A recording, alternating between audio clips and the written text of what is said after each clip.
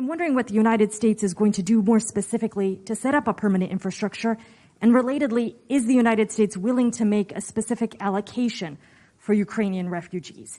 And for President Duda, I wanted to know if you think and if you asked the United States to specifically accept more refugees.